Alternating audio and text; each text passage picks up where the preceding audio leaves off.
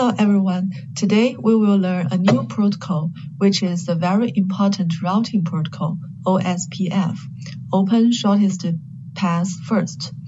In this lecture, we will divide the total content into the following three parts. First, we will give the overview of OSPF. We will introduce the classification of dynamic routing protocols. So first, let's have a quick review on why do we need dynamic routing protocols. Actually, in last lecture, we have introduced that there are dynamic static routing protocol and dynamic routing protocol. And why static routing protocol is not good enough? That is because the static routing protocol is defined by the administrator manually. So it's very difficult for the people to uh, design the routing algorithms on very large scale networks. Mm, besides, if the network condition changes very quickly, then human cannot do dynamic response to this network change. So to solve these two problems, actually, uh, people designed this dynamic routing protocols. If there are link failure or the link condition changed, the, using these algorithms, the routing can be dynamically changed. For example, in this network, previously the best route for R1 and R2 will be in through this link. But if this link breaks down, then the algorithm can dynamically change to another route. Actually, we also talked about the classification of dynamic routing protocols by whether this routing protocol are run in within one autonomous system, the routing protocols can be divided into interior gateway protocol and exterior gateway protocol. If the routing protocol are run within one autonomous system, then they are the IGPs. So OSPF belong to the IGP category. And by according to the working mechanism, actually the protocols can be divided into distance vector and the link state. And OSPF actually belong to uh, link state routing protocols. Before talking about the link state routing protocol, let's introduce a little bit about what is distance vector routing protocol. So actually in distance vector, one router will run the distance vector uh, routing protocol periodically, and they will flood the routes. And each router on a network, actually, they only clear about where is the destination and how far is the destination. So for example, here, R1 only knows that if I want to go to this destination, I must go through R2.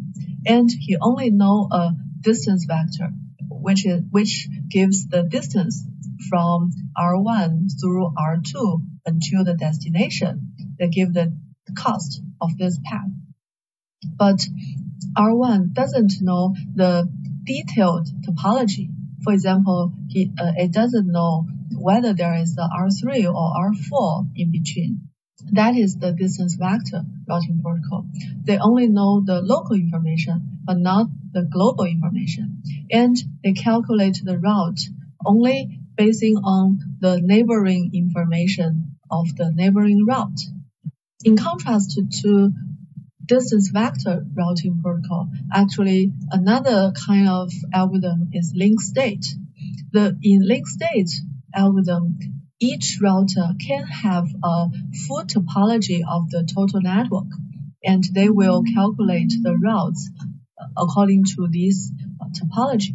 So for example, in this network, actually each router will send and link state advertisement to the neighbors and the neighbors will collect all the LSAs from all the other routers.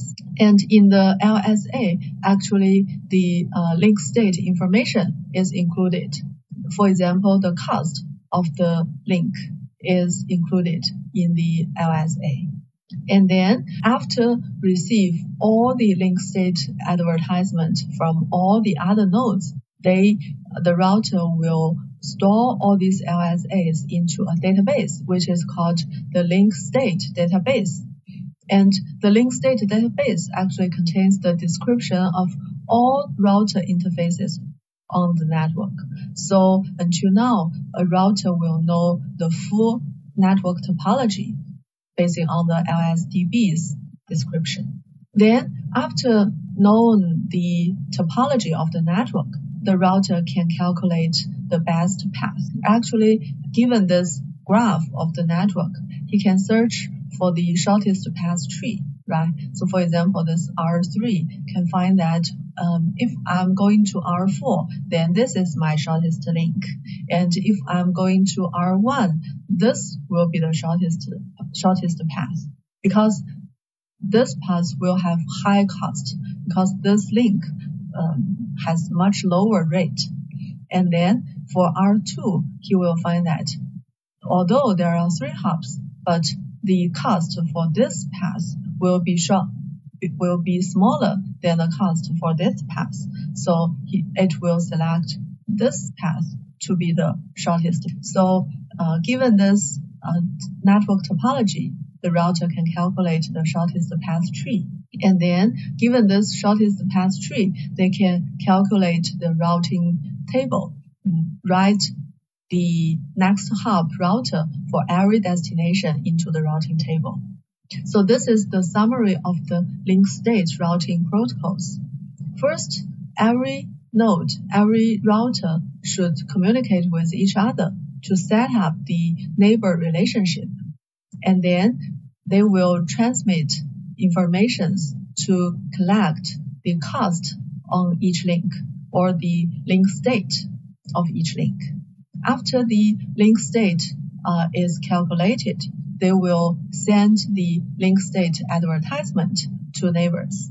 And by collecting all the information, they, they maintain this link state database. And then they form graph of the network. And then they can calculate the best path and write the best path into the routing information base.